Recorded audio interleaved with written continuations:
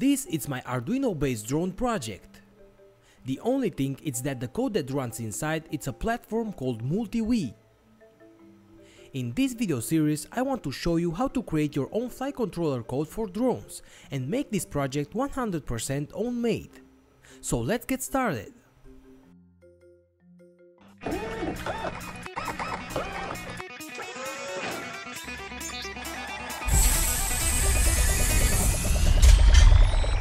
What's up my friends, welcome back! In a past video tutorial series, we have built an Arduino based drone. The receiver and transmitter both work with Arduino and nRF24 radio module connection. The flight controller is also made using Arduino, but it uses the MultiWii platform. Back then I've told you that we will create our own flight controller code in future videos. That is exactly what we will do here. I want to divide this part of the tutorial in a few videos. First, we will see how to read signals from a commercial radio control receiver. Next, we have to understand how the PID control works. We have already done this for one axis. Watch that video to learn more about PID. Now we have to apply that same concept on two axes for a 4 motor drone. Finally, we should adjust the parameters and make our first flight test using our own code.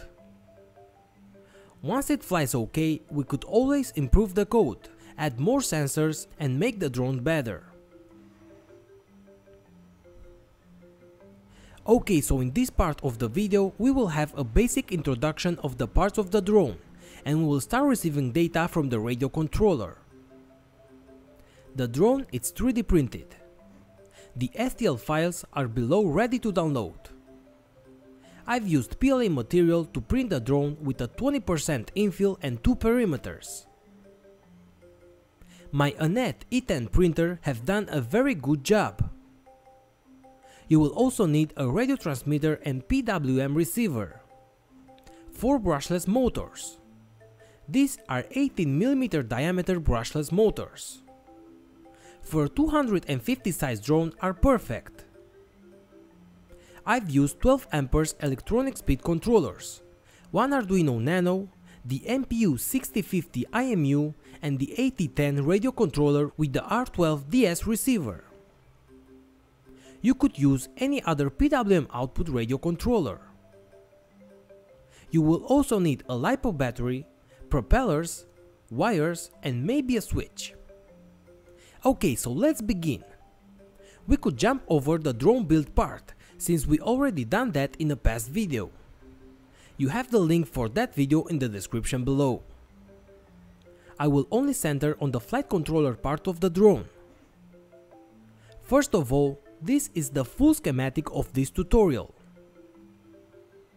Motors are connected to the ESCs and the ESCs to signal pins 4, 5, 6 and 7 from port D of the Arduino. We will have to create a PWM signal to these pins in order to control the motors. The IMU module connected to I2C pins of the microcontroller A4 and A5 and the 4 input channels from the receiver to pins 8, 9, 10 and 12 from port B. Today we will work with these last 4 pins.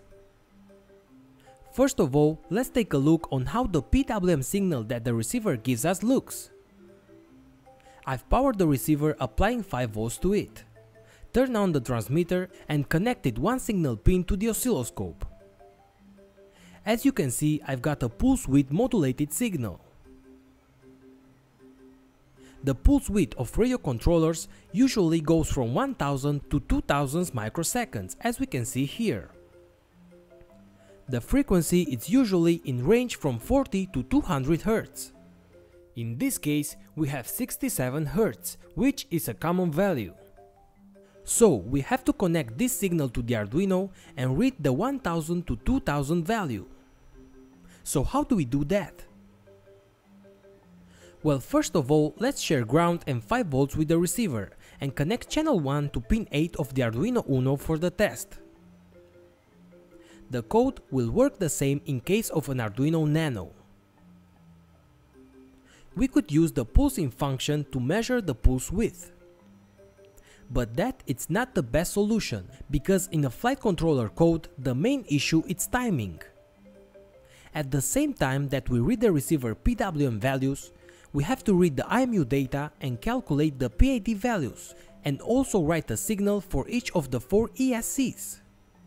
Those processes require a lot of process time.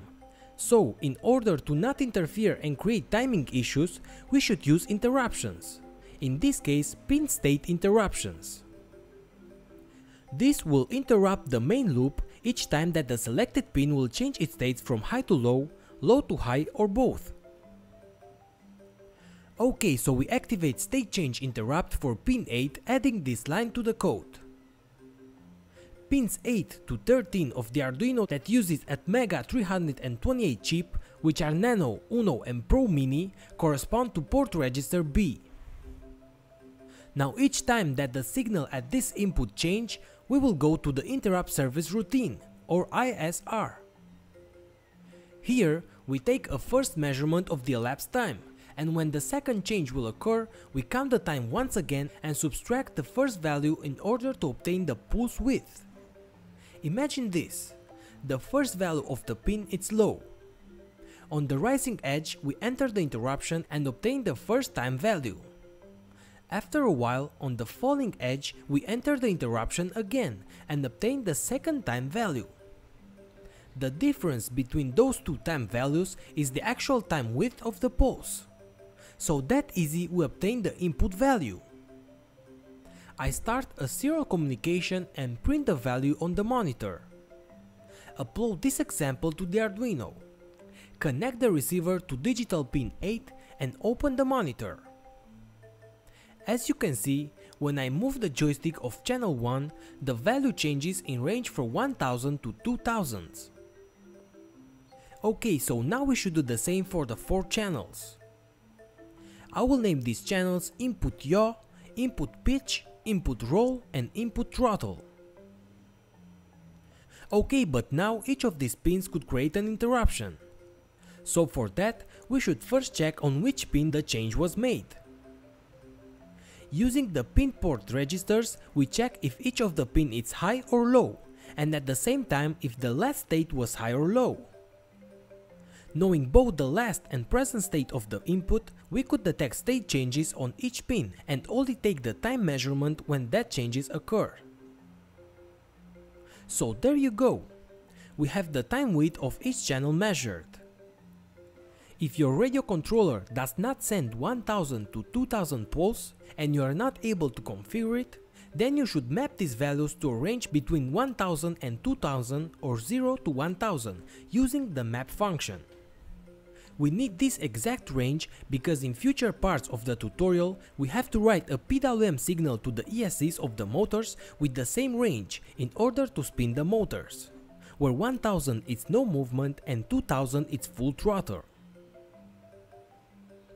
Ok, so as a recap of this first part, we first define our variables for each channel, for the time count and a few more variables that we will use. Next, define the configuration of the input pins in the setup loop in order to activate the interruption triggering.